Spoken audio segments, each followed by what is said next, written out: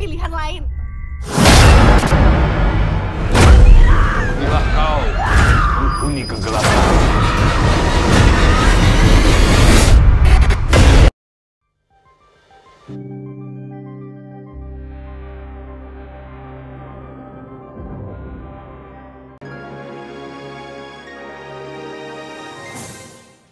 Lamun aja kamu, Fon. Aduh, Paul ngagetin aja sih. Loh, yang kaget itu saya, Fon. Terus kamu malam-malam kok belum pulang? Hah? Orang sudah naik cetak. Apa yang kamu pikirkan? Saya mikirin Vena. Saya bingung sekali sama dia. Bingung, Vena. Kenapa? Vena itu sangat tertutup sekali. Saya sama dia itu seperti orang asing aja.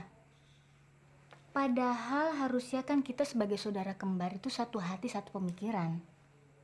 Tapi ini dia malah nggak mau tinggal di rumah. Dia lebih senang tinggal di apartemennya. Apa iya sih peristiwa pembunuhan papa itu sangat membekas di alam pemikiran dia? Hmm, begitu, Fon ya.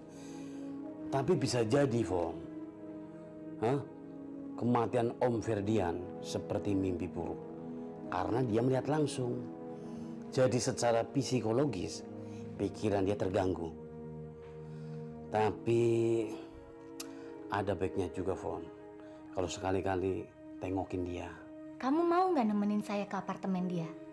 Kira-kira ngerepotin nggak? Enggak dong saya, dengan senang hati. Hah? Ke mana kamu pergi, akan saya kawal. Oke? Hmm, pasti ada buntutnya nih. Buntut bagaimana? Saya ini masih bujangan, Fon. Ya udah deh, yuk berangkat sekarang aja yuk. Oke.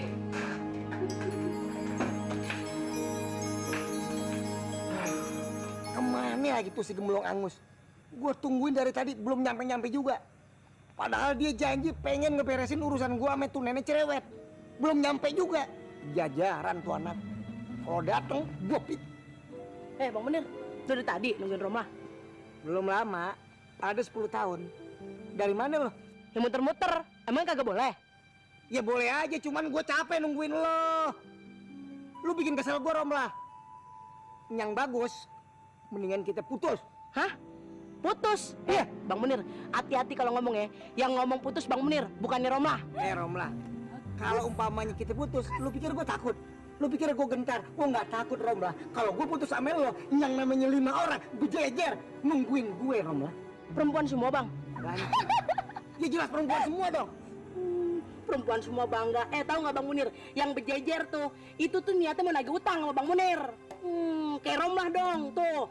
Semua, ada lima juga. Lima orang. Cowok semua. Anak kecil, mau ngajak main. Hmm, ngeledek gue lo. Hah? Nyindir gue lo. Lo ngomong anak kecil maksudnya kan ngeledek gue kan? Iya kan? Eh, siapa yang mau ngeledek Bang Munir? Siapa yang mau hina? Siapa yang mau nyindir?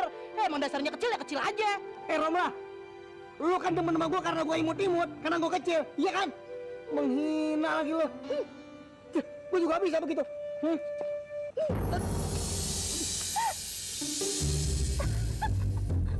Kurang ajar lo Romlah, eh. Jajaran lo. Kagak gue maafin kesalahan lo kali ini. Gue minta putus, putus, putus, tus, tus, tus, tus, tus. Eh, Bang Munir mau ke mana? Mau putus. Bang Munir.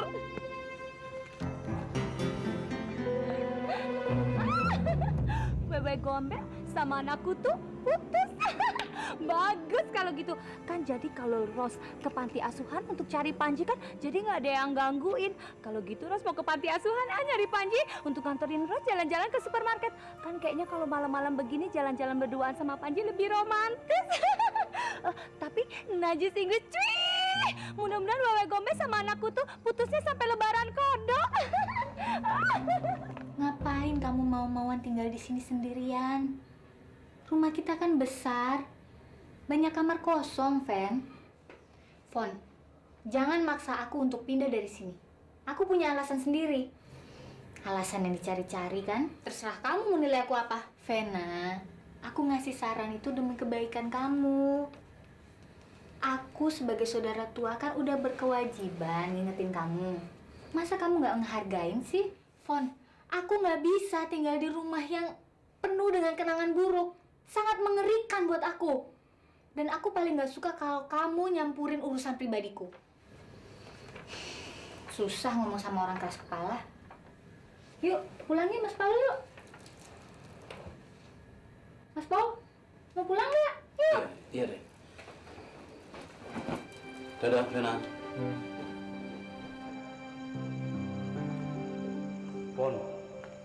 kamu kalau ngomong sama Vena nggak boleh keras-keras, nggak boleh mentak-mentak. Menghadapi yang namanya Vena, kamu itu harus lemah lembut. Ya ampun Paul, tadi tuh saya kurang lemah lembut gimana? Saya kan ngomongnya udah baik-baik. Eh, dia malah menjengkelkan gitu. Selamat malam Nona. Kita jumpa lagi. Siapa kamu? Jangan pura-pura tidak kenal. Tengkorak hitam tidak pernah lupa dengan wajah kamu yang manis. Suka merepotkan. Tengkorak hitam? Tenang aja, Fon. Selama ada saya, kamu tidak boleh takut. Tengkorak hitam, cepat menyingkir. Bukan Paul, kalau tidak bisa meringkus kamu. Eh Gendut, jangan banyak bacot kamu. Eh, kamu mau coba-coba dengan muridnya Muhammad Ali ya? Hah?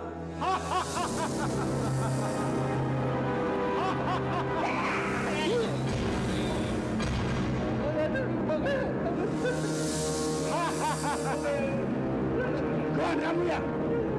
Dua. Ringkus mereka.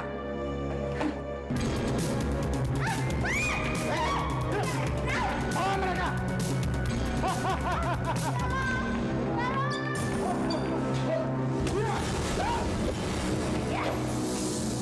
Si Ruby! Tengkorak hitam, lepaskan mereka. Mereka bukan tandingan kamu. Putri Ruby, apa hubungan kamu dengan dia? Bukan urusan kamu. Sekarang cepat merangkak, minta maaf sama saya. Rangkap, kurang aja. Seumur hidup tengkorak kita belum pernah dihina oleh perempuan seperti kamu. Anak-anak, serang dia!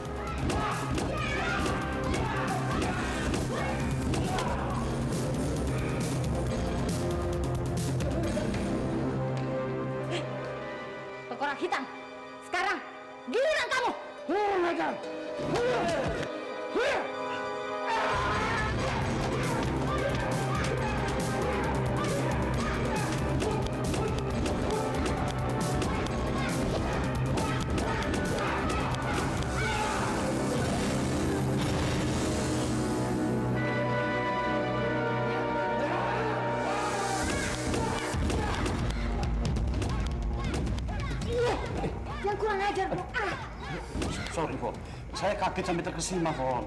terkesima, terkesima, tapi gak usah pegang-pegang itu. Ah, Ya, sorry. cepetan itu beri kesan, cepat liput. Jangan, Fon. Mana berbahaya buat kita, Fon. Bawa kamera, kamera bawa. Periksa, cepetan. Putri Ruby, aku tidak punya waktu untuk melayani kamu. Wah, ketinggalan, Fon. Tengkorak hitam, jangan jadi pengecut.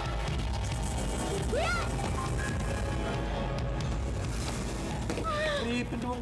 Ketinggalan, gimana sih? Ya.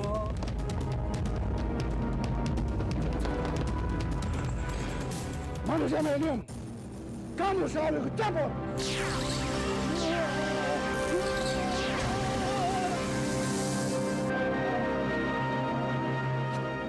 Putih Ruby, serahkan tengkorak hitam kepada pihak yang berwajib. Saya tidak ingin melihat kamu main hakim sendiri. Baik manusia milenium, tapi kamu harus janji untuk membantu saya membekuk Mandosa. Dengan senang hati Putih Ruby. Sekarang, kamu harus meringkuk di penjara tengkorak hitam. Selamat malam Putri Ruby. Selamat malam. Kami ingin mengetahui alasan Anda mengapa Anda menyerahkan tengkorak hitam kepada polisi langsung. Apakah tindakan ini karena Anda ingin mencari popularitas semata? Oh tidak. Saya menyerahkan tengkorak hitam karena tengkorak hitam adalah penjahat yang sangat licin dan banyak akalnya. Dia sering meloloskan diri. Dan untuk kali ini saya tidak mau dia meloloskan diri. Saya ingin dia dihukum atas aksi-aksi kekerasannya. terutama penjahat seperti Mandosa dan juga Dewi Kelawar. Sebenarnya kita bisa dapat berita bagus tuh. Gara-gara Paul nggak bawa kamera sih, jadi kita nggak bisa ngeliput Putri Ruby deh. Loh, kok dibahas lagi? Ya jelas dong. Berita Putri Ruby dan juga manusia milenium itu sangat laku dijual.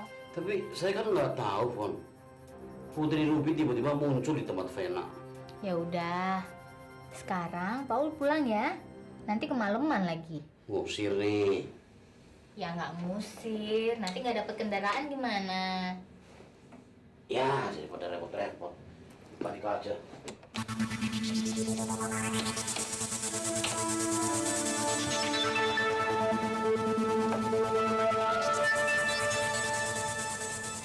Sasaran sudah kena. Sekarang giliran Mandosa.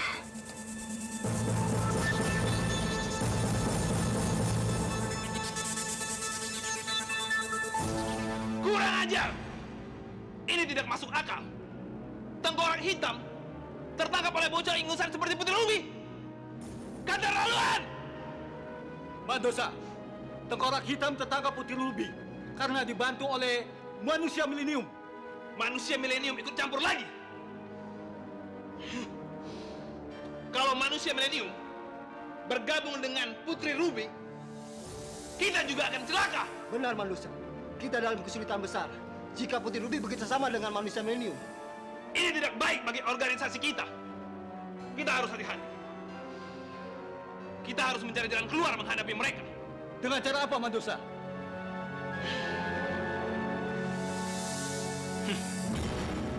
Menambah power listrik ke dalam tubuhku. Energi tenaga matahari. Tapi itu sangat berbahaya, Mandosa. Itu sudah resiko. Harus kita jalani.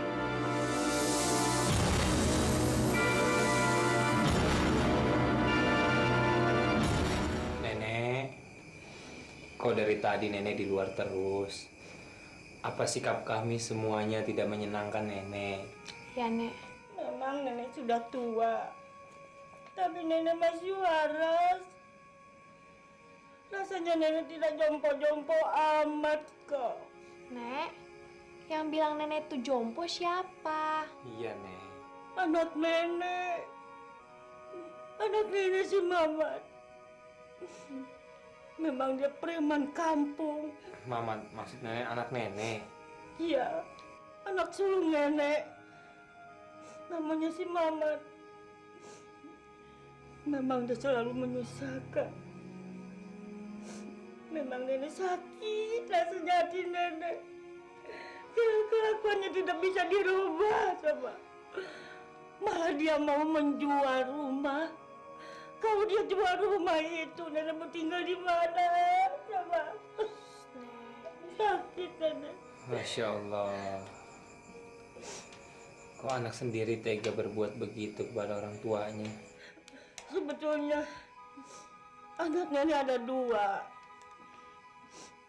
Yang satu namanya Chandra, tapi dia sangatnya baik, sayang orang tua. Malah dia masih kuliah di Bandung. Sebaiknya nenek saat ini berdoa kepada Allah, memohon kepadanya agar diberikan petunjuk. Kalau si Mamat, rasanya aku sudah keterlanjur sakit hati sama dia. Karena apa? Malah dia akan membunuh nenek. Ibunya sendiri akan dibunuh pelan-pelan, coba. Nek, sudahlah Nek. Nek, kita masuk ke kamar aja yuk Nek. Udah malam kita istirahat yuk. Iya, nenek tidur dulu ya. Iya, Nek.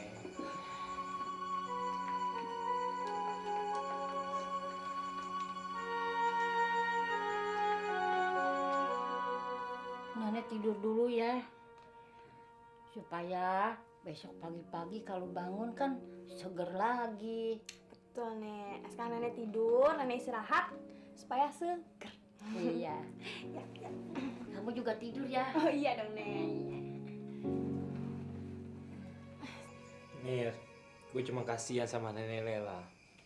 Masa tuanya dia sia-siakan oleh anaknya. Itu namanya anak kagak tahu diri. Kualat baru tahu rasa dia. Kayak batu. Kayak malin kundang. Makanya nih, kalau ntar lu udah punya anak, pendidikan agama itu penting biar anak lu itu taat sama orang tuanya. Eh, Ji, kalau gue punya anak kayak begitu, dari kecil gue udah pites-pites. Gue tumbuk sampai halus kayak bumbu dapur. Ya, gua sih ngeliat lu minta-minta anak lu wajar, anak lu kan kecil-kecil kayak kutu. gue saking enaknya sama orang. Nggak boleh, ntar lu yang dosa. Nggak apa-apa, kesel Eh, sama orang yang dorlatannya begitu mah. Doli. Nenek Lela udah tidur belum? Udah, baru aja tidur. Untung Kak Nadia ditugasin London dari kantornya. Makanya Nenek Lela bisa tidur di kamar Kak Nadia. Nih, kayaknya gua besok harus ke rumah Nenek Lela nih. Ngapain? Ya, gua mau tahu keadaan di sana gitu. Mau mencari tahu kenapa Nenek Lela bisa pergi dari rumahnya. Nah, begitu dong Ji. Nolongin orang yang sedang teraniaya. Pahalanya gede, kagak kehitung. Bisa ngurangin dosa kita.